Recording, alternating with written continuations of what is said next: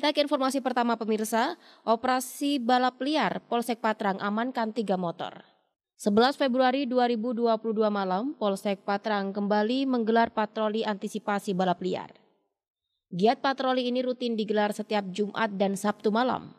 Dua titik lokasi yang biasa digunakan sebagai tempat ajang balap liar, yakni di Baratan dan Simpang Tiga Jarwo menjadi sasaran polisi.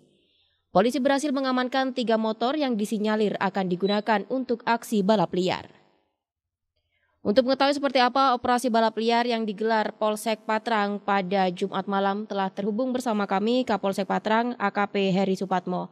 Halo, selamat sore Pak Heri. Selamat sore Mbak Ageng. Ya, Pak Heri saat ini Gatekeeper sore eh, tengah membahas di mana Polsek Patrang menggelar operasi balap liar hingga eh, mengamankan tiga motor. Seperti apa Pak Heri giat operasi balap liar yang dilakukan oleh kepolisian sektor Patrang, Pak? Jadi seperti minggu-minggu sebelumnya, jadi setiap malam Sabtu dan malam Minggu itu memang kita sinyalir eh, adik-adik kita ini melaksanakan kegiatan balap liar, ya uh, utamanya di wilayah kota yaitu di Sumbersari, di Kaliwates dan di Patrang. Untuk di Patrang sendiri tadi malam kita laksanakan kegiatan patroli diawali dengan apel bersama gabungan dengan Resmob dan rekan-rekan Satlantas serta sama Polres serta Polsek jam 23. Kemudian eh, setelah kita melaksanakan apel, kita laksanakan patroli gabungan yang pertama kita laksanakan patroli di eh, Simpang Tiga Baratan yang mana memang titik tersebut sering dipakai untuk digunakan aksi balap liar untuk adik-adik kita. Namun untuk tadi malam alhamdulillah untuk di Simpang Tiga Baratan itu sepi sehingga eh, patroli kami kami arahkan mulai pukul satu itu kita arahkan ke Simpang Tiga Jarwo dan eh, betul berdasarkan informasi dari masyarakat, kami mendapat telepon dari masyarakat bahwa di Simpang Tiga Jarwo ada aksi balap liar. E, kita langsung ke sana dan memang betul terjadi balap liar di sana.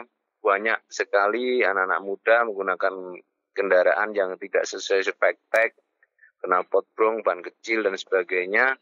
Itu sedang bersiap-siap untuk melaksanakan e, balap liar. Kemudian ketika kita datang mereka banyak yang lari berhamburan, namun ada tiga kendaraan yang bisa kita amankan eh, dengan ciri-ciri ya kenal potbrong, ban kecil, sehingga eh, kendaraan tersebut bersama eh, pengendaranya kita bawa ke polsek untuk kita data, kemudian eh, kendaraannya sementara kita amankan.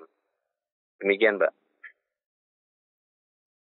apa gelar patroli balap liar ini memang rutin digelar setiap Jumat dan Sabtu malam. Biasanya operasi balap liar ini sendiri Pak Heri membutuhkan waktu berapa lama sih Pak? Saya biasanya setiap malam Sabtu, malam Minggu itu sampai jam 4 pagi Mbak. Karena memang e, mereka biasa melakukan kegiatan balap liar itu di atas jam 1 malam. Jadi memang mereka seolah-olah memang e, mencari kelengahan kita. Jadi ketika kita standby di situ mereka hilang, hilang. Tapi ketika kita pergi mereka datang. Nah, itu e, biasanya mereka di atas jam 1 sampai jam setengah 4 pagi mereka melaksanakan kegiatan balap liar itu. Dan kita juga sudah antisipasi itu. Kita tidak pulang sebelum mereka betul-betul clear tidak ada. Tidak melakukan kegiatan balap liar. Karena itu kegiatan tersebut sangat meresahkan masyarakat. Eh, salah satu dasar kami melaksanakan kegiatan itu juga banyaknya laporan dari masyarakat yang merasa terganggu dengan adanya balap liar, ya, suara knalpot brong yang keras dan sebagainya. Demikian, Mbak. Iya, Pak Heri untuk lokasi uh, operasi balap liar yang digelar oleh Kepolisian Sektor Patrang pada Jumat malam kemarin, yakni di Baratan dan juga di Simpang Tiga Jarwo. Selain di dua lokasi ini, Pak Heri, lokasi mana saja sih Pak yang disinyalir digunakan oleh para remaja untuk melakukan aksi balap liar, Pak, di Kecamatan Patrang?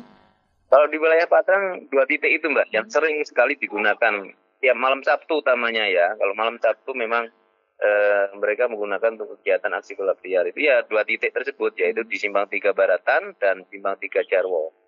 Sementara yang eh, kita deteksi itu dan selama ini memang yang sering eh, kita dapati kejadian balap liar di dua titik itu. Iya. Ada tiga motor yang berhasil diamankan oleh uh, polisi pada saat operasi balap liar yang digelar, digelar Jumat malam kemarin.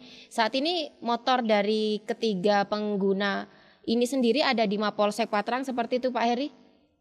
Betul Mbak. Sementara kita berikan tanda terima ya, dan eh, nanti kita panggil orang tuanya bersama yang bersangkutan, kita berikan pembinaan tentunya dan kemudian eh, perlengkapan kendaraan yang tidak sesuai spektek kami perintahkan untuk diganti. Sedangkan untuk eh, barang buktinya kita amankan, Mbak. Kita amankan di Polsek.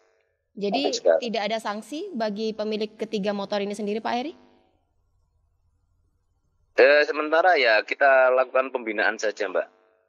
Baik, Pak Heri, eh, dengan digelarnya operasi balap liar yang rutin dilakukan oleh kepolisian sektor Patrang ini membuktikan bahwasanya masih masih marak balap liar yang dilakukan para remaja. Silakan Pak Heri memberikan himbauan bagi masyarakat khususnya remaja di Kecamatan Patrang untuk tidak lagi melakukan aksi balap liar. Silakan Pak.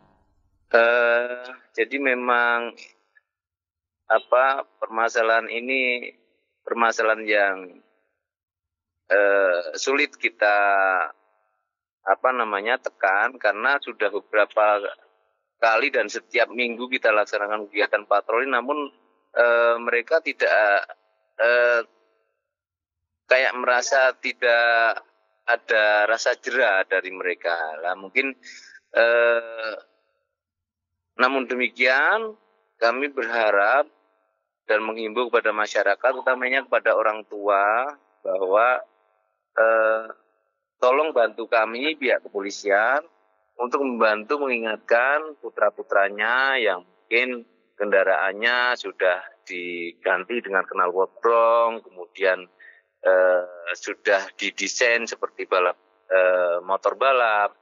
Ini harapan kami juga orang tua ikut berperan aktif, ikut membina para eh, putra-putranya supaya tidak melakukan hal-hal tersebut. Karena eh, jujur eh, apabila kejadian balap liar ini juga sangat meresahkan masyarakat eh, sekitar mbak utamanya di wilayah Simpang Tiga Baratan dan Simpang Tiga Jarwo bahkan eh, tadi malam ada anak mahasiswi yang eh, ketika dia sedang ngopi di angkringan Simang Tiga Jarwo itu mau pulang ketika melihat ada balap liar dia takut hmm. sehingga dia menunggu sampai selesainya sampai e, kami bubarkan e, balap liar tersebut baru dia baru berani pulang. Nah, ini kan betul-betul sangat meresahkan masyarakat yang lain.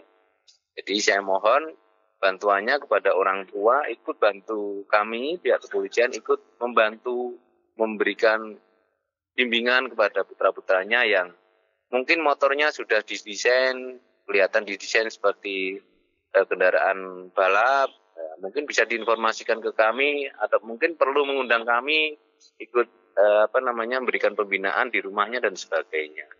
Itu harapan kami. Dan mungkin juga kami uh, berharap uh, memang kejadian balap liar di Kabupaten Jember ini kan bukan hanya di Patang saja ada di beberapa titik mbak Hmm. Kalau di kota ya jelas di Kaliwates dan di Sumbersari itu juga sering terjadi. Hmm. Kemudian di daerah Buker di uh, eh, GLS itu juga sering terjadi. Mungkin dari pemerintah daerah sudah berpikir uh, mulai sekarang mungkin sudah berpikir dikasih uh, apa namanya uh, tempat tersendiri untuk menyalurkan hobi-hobi para pemuda yang suka balap liar ini.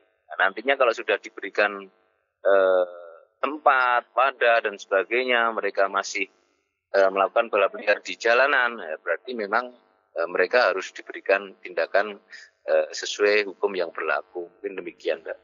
Iya, sesuai apa yang disampaikan Pak Heri, semoga menjadi perhatian orang tua juga untuk dapat meringankan uh, tugas dari kepolisian untuk menertibkan suasana jalan khususnya pada saat uh, akhir pekan yang digunakan sebagai uh, para remaja untuk melakukan aksi balap liar. Baik, terima kasih atas waktunya Kapolsek Patrang AKP Heri Sungkatmo telah bergabung bersama kami di program Gatekeeper Sore. Terima kasih Pak Heri, selamat sore. Oke, Mbak. Selamat sore.